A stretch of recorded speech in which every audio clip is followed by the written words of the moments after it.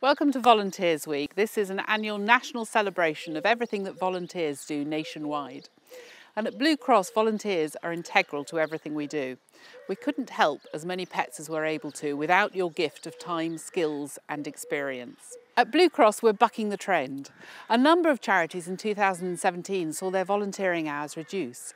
Ours have remained steady and in fact we had a slight increase. 30% of the hours worked here are done by volunteers and we simply wouldn't be able to help as many pets without you. On behalf of Blue Cross, thank you for everything you do uh, to raise awareness, raise funds and help pets. Now I'm going to hand over to Libby from our volunteering development team.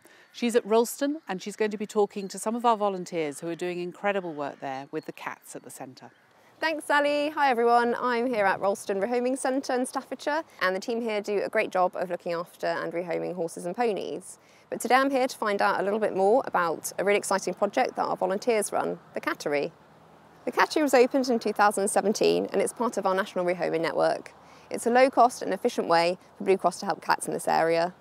The volunteers do a fantastic job of helping find new homes for the cats and kittens that come here. In a moment, I'm going to be talking to Lisa, but first I'm chatting to Sue. She's the volunteer coordinator here, and she's going to tell me a little bit more about the team and her role here.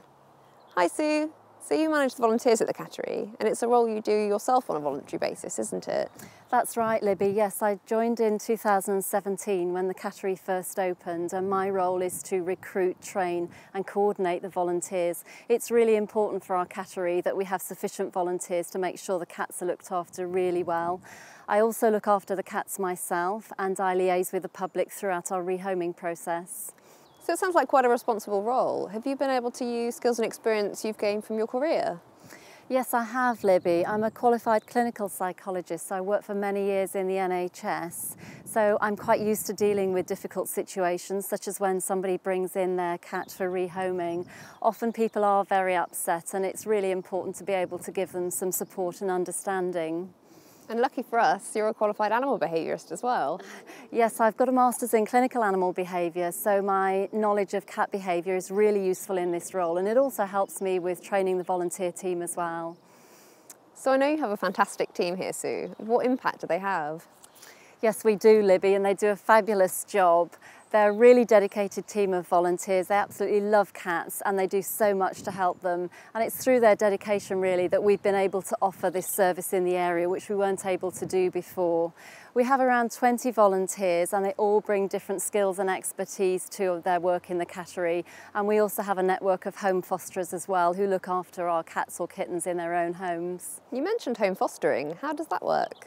Yes, our home fosterers are really important to us. We use our home fosterers for kittens and also for any cats that are finding life in the cattery really difficult. It, we find it really helps with the socialisation process. So for example, we had a cat called Frank who initially came into our cattery, but he found it really stressful in our cattery environment. So he went to home fostering, his behaviour really improved, he became more confident and is much easier to rehome. What a lovely outcome for Frank. So what's it like being on site with so many horses and ponies around? So this is a really lovely site to have a cattery. We don't have any dogs housed here at Rolleston, so it's really quiet for our cats. It's also really nice to have the horse team, so we've got other volunteers and paid team members who are always around to work with or chat to. So it's a really supportive environment. Oh, thanks so much, Sue. It's been great to meet you today. Thanks, Libby.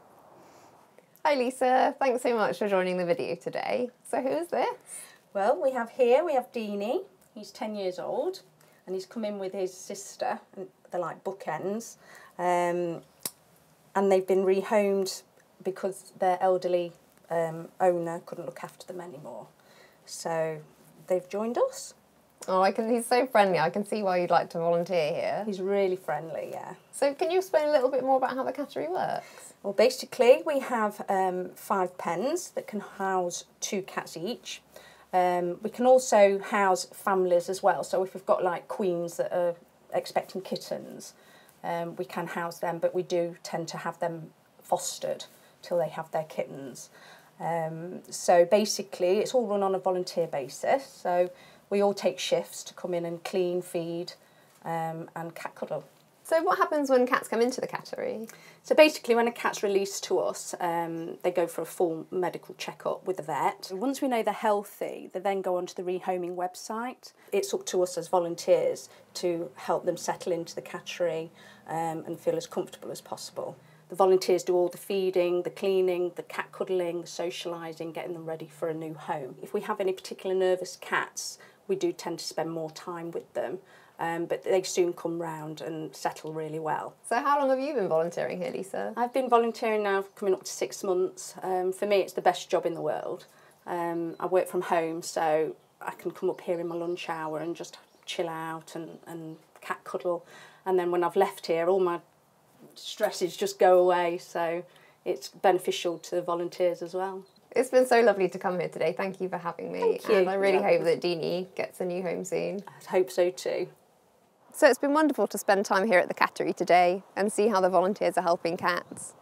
We simply couldn't help the number of pets we do at Blue Cross without our volunteer team members here and of course across the charity. We're always looking for more dedicated volunteers and there are lots of different locations where you can get involved. So a big thanks and a very happy Volunteers Week.